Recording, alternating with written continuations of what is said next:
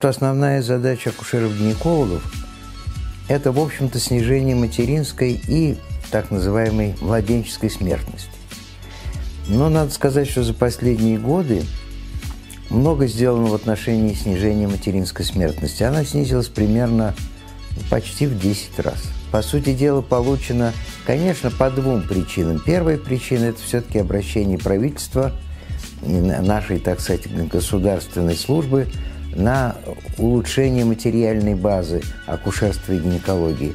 Но все-таки самое важное – это подготовка врачей-акушеров-гинекологов. Почему это важно?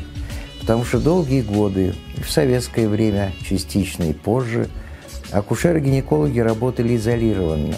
Они работали без, ну так скажем, совместного участия с хирургами, терапевтами, анестезиологами и прочее.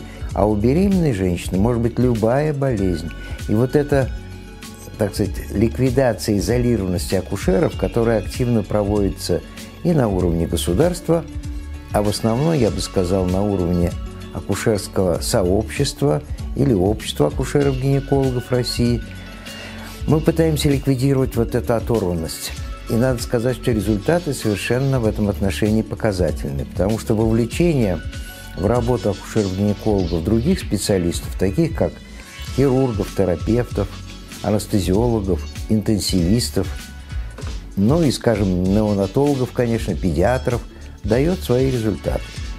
Но для того, чтобы получить эти результаты и в дальнейшем закрепить их или, скажем, улучшить, конечно, необходимо повышение квалификации акушеров-гинекологов, потому что по всем специальностям, которые я назвал, необходимо преобразование знаний акушеров-гинекологов. И вот этим и занимается школа РАК – которая пытается, ну, конечно, в первую очередь участвовать в преобразовании акушерской службы, конечно, снижение, скажем, материнской и неонатальной или младенческой смертности, но для этого нужно вот повысить знания, существенно улучшить, ну, скажем, взаимоотношения с другими специалистами, я думаю, что мы получаем хорошие результаты.